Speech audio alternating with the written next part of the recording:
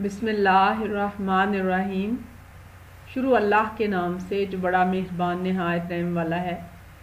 प्यारे बच्चों, हम चैप्टर थ्री कर रहे हैं periodic table and periodicity of properties उसमें आज हम डिस्कस करेंगे ionisation energy and periodic trend तो सबसे पहले देखते हैं कि what is an ion an ion is a charge atom और मॉलिक्यूल आय एक आयन चार्ज एटम या मालिक्यूल होता है। It is charge because the number of electrons do not equal the number of protons in the atom और molecule क्योंकि number of proton और electron बराबर नहीं होते।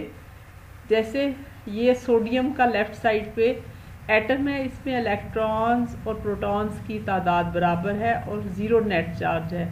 लेकिन अगर इसके वैलेंस शेल में से एक इलेक्ट्रॉन निकल जाता है तो प्रोटॉन 11 है, इलेक्ट्रॉन्स 10 है तो ये पॉजिटिव आयन बन जाता है।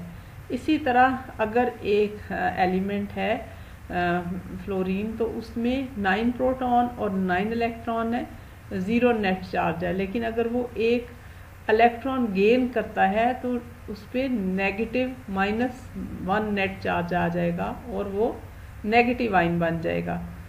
Ionization is the process by which an atom or electron acquires a negative or positive charge by gaining or losing electrons. Ionization एक तरीक़ेकार है जिसमें एक एटम या मालिक्यूल मनफी या मुस्बत चार्ज हासिल करता है, जब वो इलेक्ट्रॉन लेता है या इलेक्ट्रॉन छोड़ता है ionization energy is needed to remove an outer valence electron वो एनर्जी आयोनाइजेशन एनर्जी कहलाती है, जो वेलेंस शेल से इलेक्ट्रॉन को अलहदा करने के लिए चाहिए। यानी एनर्जी जो है, वो मॉलिक्यूल या एटम पे एक्ट करती है, इलेक्ट्रॉन बाहर जाता है, इसको आयोनाइजेशन एनर्जी कहते हैं। तो प्यारे बच्चों, इसी तक तरह अगर हमें, हमारे दिल में अल्लाह और उसके रसूल की मोहब्बत गहरी हो तो शैतान हमें सीधे रास्ते से नहीं भटका सकता। बल्कि अल्लाह और उसके नबी की मोहब्बत हमें सीधे रास्ते पे कायम रखती है। नबी करीम वसल्लम ने फरमाया, मैं तुम्हें दो चीज़ें छोड़कर जा रहा हूँ। अगर तुम उन्हें मजबूती से थामे रखोगे तो कभी गुमराह नहीं होगे। एक कुरान मजीद और दूसरी मेरी सुन्नत। तो हमें चाहिए कि हम कुरान मजीद को तर्जमे के साथ पढ़ें समझ कर पढ़ें और नबी करीम वसल्लम की सुन्नत को अपनी ज़िंदगी का हिस्सा बनाएँ। हर काम सुन्नत के मुताबिक करें। खाना पीना, उठना, बैठना। Ionization energy, first ionization energy कहलाती है जब पहले इलेक्ट्रॉन को अलहदा कर, किया जाता है। यानी वो इलेक्ट्रॉन, पहला अगर एक इलेक्ट्रॉन अलहदा किया जाए तो वो एनर्जी, फ़र्स्ट आयोनाइजेशन एनर्जी कहलाएगी। If there is only one electron in the valence shell the energy required to remove will be called first ionization energy. अगर एक इलेक्ट्रॉन वैलेंस शेल में हो तो उसको अलहदा करने के लिए जो एनर्जी चाहिए, उसे फ़र्स्ट आयोनाइजेशन एनर्जी कहते हैं। जैसे सोडियम से सोडियम आयन बना तो इसके लिए 496 kilo joule per mole energy चाहिए। आयोनाइजेशन एनर्जी के डिफरेंट जो है यूनिट्स में एक्सप्रेस की जाती है। जैसे electron volts per atom kilo calories per mole और kilo joules per mole atom जिनकी Iona atoms with large ionization energy values are less likely to form positive ion atom जिनकी आयोनाइजेशन एनर्जी ज़्यादा होती है, उनका चांस कम होता है कि वो मुस्बत आयन बने। Group two and three elements have more than one electrons in their shells group दो और तीन के एलिमेंट एक से ज़्यादा वैलेंस इलेक्ट्रॉन रखते हैं। Uh, therefore, they have more than one ionization energy values. इसलिए इनकी आयोनाइजेशन एनर्जी की वैल्यू भी एक से ज़्यादा होती है।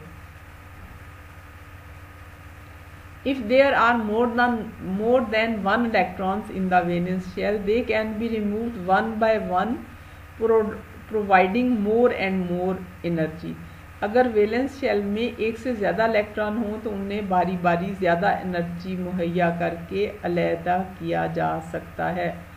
तो ये फिर फ़र्स्ट, सेकंड, थर्ड और फोर्थ आयोनाइजेशन एनर्जी कहलाती है।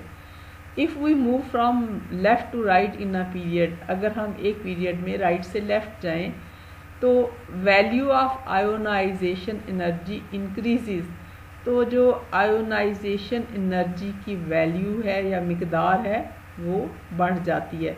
हम देखते हैं कि वो आयोनाइजेशन एनर्जी की वैल्यू क्यों बढ़ती है?